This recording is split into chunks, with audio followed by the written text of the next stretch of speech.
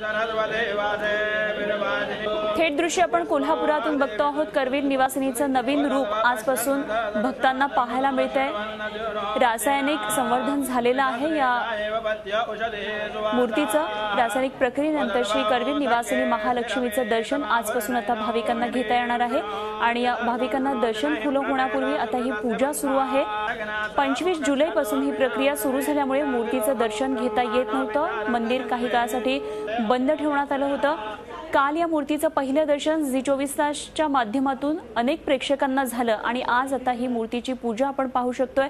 आज सकाळी प्रक्रियेनंतर मूर्तीची पूजा सुरू झालेली आहे आणि काही वेळामध्ये ही मूर्ती आता सगळ्याच भक्तांना दर्शन देणार आहे. अंबाबाईचं सगुण रूप पाहण्यासाठी आसुसल्या आसुसलेल्या भाविकांनी मंदिरामध्ये आता गर्दी केलेली आहे.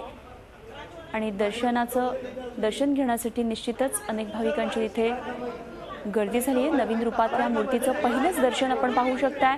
झी चोवीस तासवर आमचे प्रतिनिधी प्रताप नाईक सध्या कोल्हापूरमधून आपल्या बरोबर आहेत. प्रताप करवीर निवासिनीचं हे रूप आता पाहायला मिळते अत्यंत सतेज अशी मूर्ती पुन्हा एकदा भाविकांना दर्शनासाठी आता खुली होती आणि निश्चित खूप मोठी गर्दी असेल. आम्हाला सांगाल काय नेमकं आता सध्या तिथे कार्यक्रम सुरू आहेत आणि कितपत गर्दी आहे? अनुपमा आपण बघतो की गेल्या आठ दिवसापासून महालक्ष्मीच्या मूळ मूर्तीचं दर्शन झालेलं नव्हतं.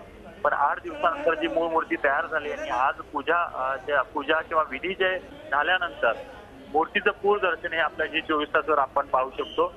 सगळ्यात महत्वाचं म्हणजे आता थोड्याच वेळेत अ, कोल्हापूरचे छत्रपती शाहू महाराज यांच्या या मूर्तीचं आरती होणार आहे महाअभिषेक होणार आहे. त्याच्यानंतर ही मूळ मूर्ती जी आहे उत्सव मूर्तीला घेऊन पंचंगा नदी नदीच्या ठिकाणी स्नानाला घेऊन जाणार आहे. त्याच्यानंतर या ठिकाणी ही जी मूर्ती आहे ते भक्तांच्या दर्शनासाठी खुली केली जाणार आहे. गेल्या आठ दिवसापासून महालक्ष्मी मंदिरामध्ये वर्दळ कमी झालेली होती कारण महालक्ष्मीचं मूळ रूप किंवा अंबाबाईचं मूळ रूप बघण्याची भक्तांची जी इच्छा होती ती आजपासून पूर्ण होणार आहे.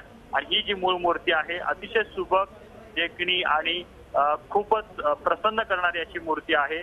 पुरातत्व विभागाच्या अधिकाऱ्यांनी सलग आठ दिवस या मूर्तीवर काम करून ही मूर्ती तयार केलेली आहे आणि त्या मूर्तीचं दर्शन सर्वप्रथम आपल्या जे चोवीस तासवर झालेलं आहे. आणि आता थोड्याच वेळेत या आणि पक्षी विधी आटोपल्यानंतर या ठिकाणी भक्तांना या मूर्तीचं दर्शन घेता येणार आहे. प्रताप एकंदरीतच गर्दीविषयी काय सांगाल? निश्चितच भक्तांनी गर्दी केली असणार आहे कारण आठ दिवसानंतर देवीचं दर्शन होतंय. कोल्हापूरकरांची काय प्रतिक्रिया यावर येते या संदर्भात काही माहिती. मूर्तीचं आत्ताचं रूप पाहिल्यानंतर अनेकांना आनंद खूप आनंद झालेला आहे. त्याचं कारणच असं आहे कारण आता ही मूर्ती खूप सुबक झालेली आहे उठावदार झालेली आहे. आणि अंबाबाईचं जे मूळ रूप होतं त्या मूळ रूपामध्येच ही मूर्ती असल्या आहे. त्याच्यामुळे आपण बघतो की आता जी भक्तांची गर्दी आहे साधारण एक नंतर सुरुवात होईल कारण एक पर्यंत धार्मिक विधी होणार आहेत. धार्मिक विधी पर्यंत पूर्ण होणार नाही तोपर्यंत दर्शनाला सोडलं जाणार नाहीये. त्याच्यामुळेच आपण बघतो सध्या गर्दी कमी असली तरी एक नंतर गर्दी मोठ्या प्रमाणात वाढेल.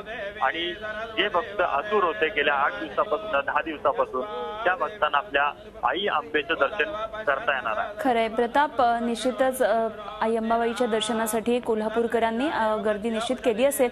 मात्र काय या भक्तांमध्ये कोणी आज सेलिब्रिटी किंवा हाय प्रोफाईल कोणी भक्तगण सुद्धा येणार आहेत का? याबाबत सुद्धा काही माहिती कळतीये नाही तसं कोणी सध्या येणार नाही कारण असं आहे की धार्मिक विधी महत्त्वाच्या या पार पडल्यानंतर साधारण एक वाजता ही सुरुवात होणार आहे. आणि त्याच्यानंतर गर्दी असेल म्हणून कदाचित पुढे पाठीमाग कोणतरी येणार असतील. पण कोल्हापूरचे छत्रपती शाहू महाराज आहेत. त्यांच्या हस्ते या विधिवत पूजा अर्चा होऊन मग भक्तांना ही मूर्ती दर्शनासाठी खुली जा- केली जाणार आहे.